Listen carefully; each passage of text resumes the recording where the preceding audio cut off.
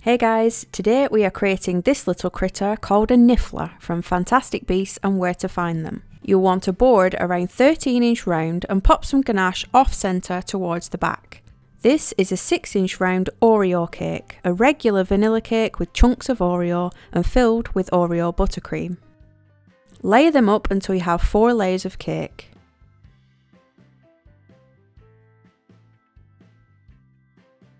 To create the sack shape, we are trimming in all around the bottom to round it out.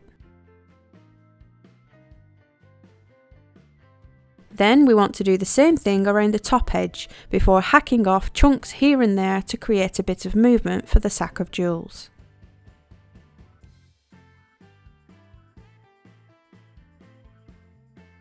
Now to create lumps in the bag, add all your cut-offs to some remaining buttercream and mix it together to create a type of cake dough. There's no specific ratio, just throw it in and give it a mix together. Yep, I have to admit, it's not the most appetising looking mixture, but it's like a nice cookie flavoured cake pop. We just want to take small pieces to bulk out the top of the bag and also add the odd lump on the sides. The buttercream should stick itself and create this sort of shape. Add a rough layer of ganache to seal it all in. This is a little runnier than I usually use, it's just too warm, but it's only the first layer so it'll be fine to use. Once that's set, you can add the second layer. You'll see it's helped firm it up so it doesn't wobble around. An acetate smoother is great for smoothing out ganache on an odd shape. Just bend it and allow it to follow the contours.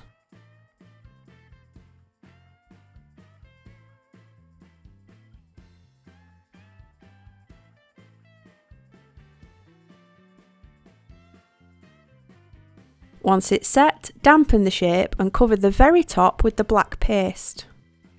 Cut a circle out. This will be the inside of the bag. For the bag itself, roll out a piece of pale brown paste and wrap it around the sides rather than draping it over the top.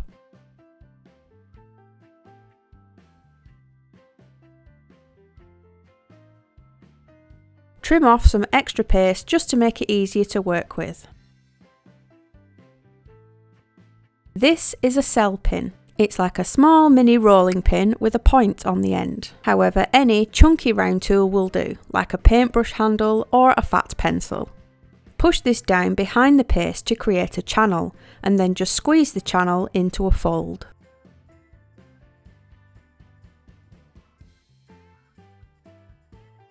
Round the back you can just loosen the paste, add a fold in and then flatten it back down. Trim the overlap and merge the cut edges together.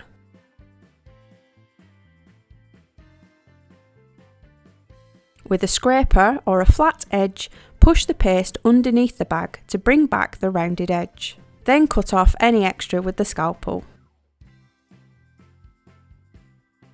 Push the very tops of the folds down and gather them at the top so it can be cut cleanly back into a circle.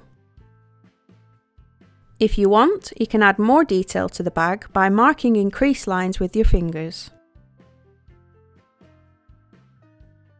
For the Niffler's body, I'm using Renshaw Black Modelling Paste. You can use regular black sugar paste with Tylo powder added if you want, which is what I would usually have used, but I've started buying modelling paste just for ease and making it a tad quicker. You want to make a mound sort of shape, pushing the bottom flat and teasing the top up. Add this to the top and mark in some wavy fur lines with the Dresden tool.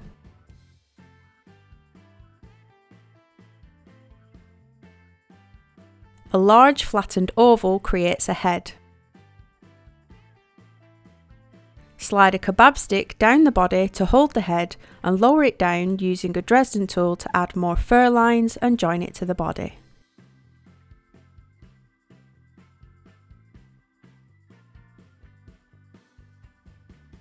Don't forget the back. The Niffler snout is quite long, so we're going to support it with a cocktail stick. Make some flesh coloured paste and keep some aside for the paws.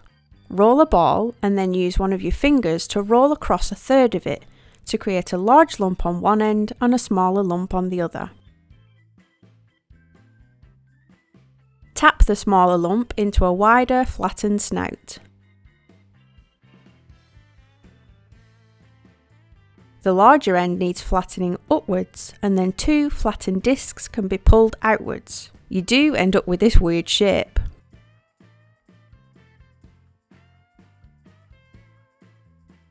Slowly push the snout onto the stick and flatten the face part against the head.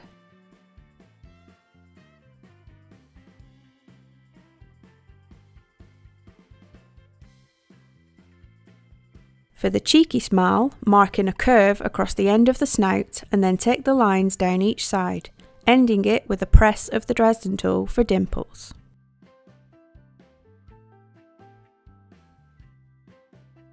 Mark in two small nostrils on the end. These always come in handy, kids craft sponges.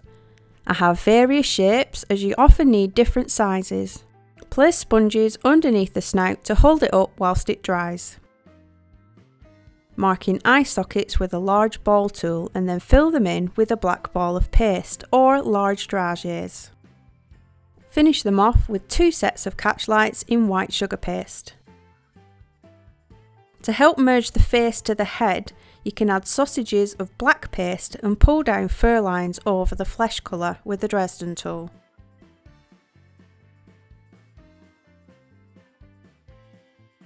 You know what to do here. Cover the board using the toilet seat method. The full video is always in the description box below.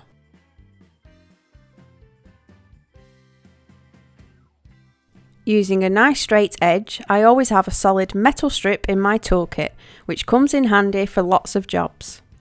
Mark in straight lines on the board for bricks.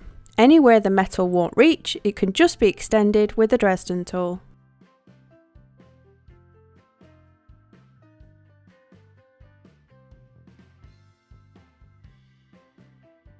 Then add in the horizontal lines for your brick pattern.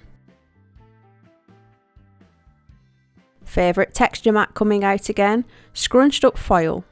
Press this all over the board. You can flatten the foil too to fit under the cake and get right into the tight spots. Remark any lines that have misaligned themselves and add cracks and texture to some of the bricks. Trim the board again all that pressure squashes the paste around. Airbrush the whole board with black airbrush colour. Again, all the tools I use are listed in the description box. Don't worry if you get some on the lower part of the cake, shadow would naturally occur there anyway. Once it's covered, go in closer and more precise following each line to darken it, and then over it again slightly further away for a thicker shadow line where the brick edges are a little dirtier. Wet around the circle edge and cut out a little circle strip of the pale brown paste. It's done very much like the toilet seat method. Press and thin out the outer edges with your fingers. Wrap it around the niffler, pressing the inner edge down and closing the join at the back.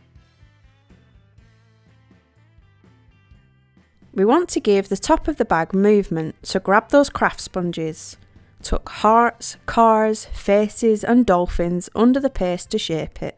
If they won't stay, pop an acupuncture needle in. Whilst that dries, we can work on the board. I don't want to bore you with the name cutting again as I do it in pretty much every video, but you just want to trace your name on greaseproof paper Place the paper on some paste, mark around the letters and then just follow along the lines with a scalpel to cut them out. This one is a fantastic beast type of font.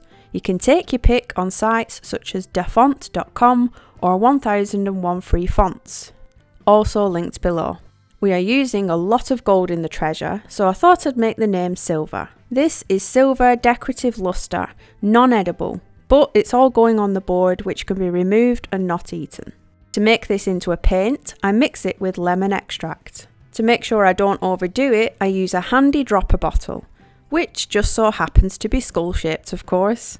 I have some of these in my shop also listed below. Just paint it straight on with a paintbrush. Carefully remove the sponges once you think it's set enough. For the paws, flatten an oval of paste and mark in three lines. Separate the claws and round them out into points.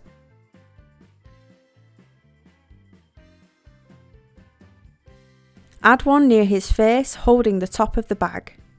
As we are adding weight here, feel free to put one of the sponges back in until it feels fully set.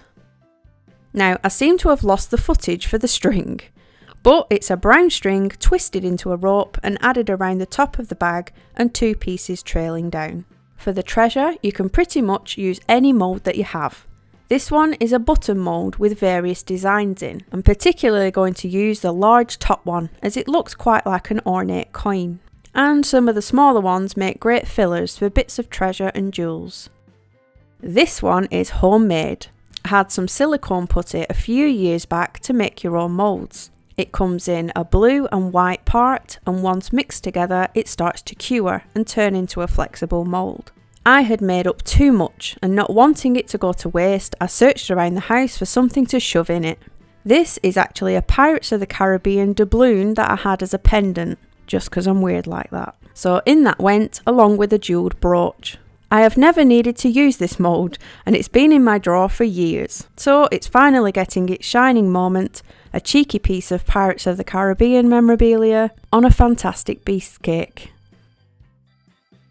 You can also use pearl moulds or chain moulds for more detail, anything jewellery based or treasure based. As they are gold, I'm using a yellow base just pushing it into the mould, cutting the excess and popping it out.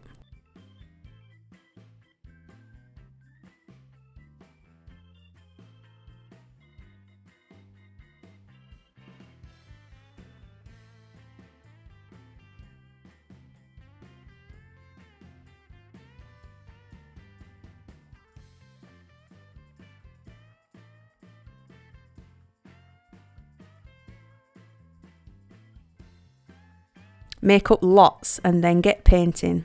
You'll see adding colour really brings out the details. For the brooch mould, I painted on dry lustre, Starlight Comet White by Rainbow Dust. It gives it a subtle shimmer. The main coins are gold decorative metallics, non-edible, as you just cannot beat it or match it with an edible version. Just remember to note on your paperwork to the client to remove the gold elements. These smaller ones have a slightly warmer orange glow, done with an edible lustre called metallic ginger glow. It's more an antique, bordering on copper type of colour. As the birthday girl is a Harry Potter fan and a Gryffindor, we are adding a little nod with a scarf. This is yellow Renshaw paste and ruby red paste. Roll out the red so you can cut a few strips from it.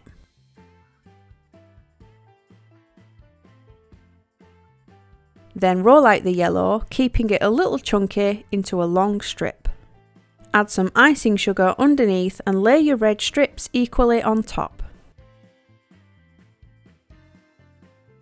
Now this is another homemade mat. This was made way before knitting moulds and mats existed. So do yourself a favour and just buy one. Don't think your favourite chunky knitted jumper would make a great impression mat and then completely ruin it by slapping this blue goop on it. It will leave a massive blue circle on the back of your jumper. Just choose your favourite knitted mould and press that all over your scarf.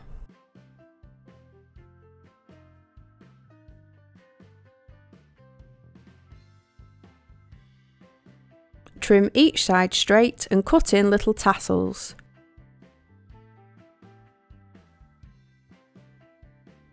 Fold this naturally around the back and side of the cake. The fun bit. Add all your bits and pieces with piping gel. Add a string of pearls or a chain emerging from the bag.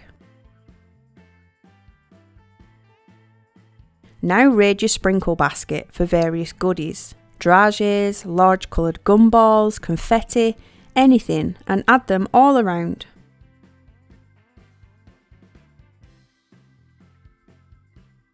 I'm also adding balls of red paste to complement the scarf.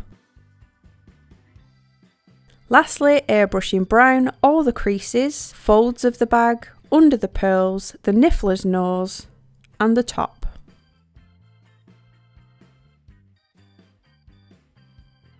And we're finally done. A cute but cheeky little niffler with his beloved jewels and goodies.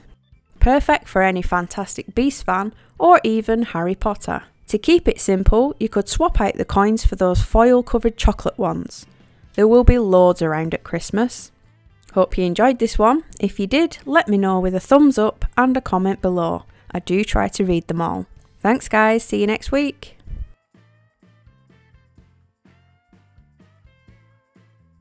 Using a nice straight edge, I always have a solid metal strip in my arsenal, which using an using a nice straight edge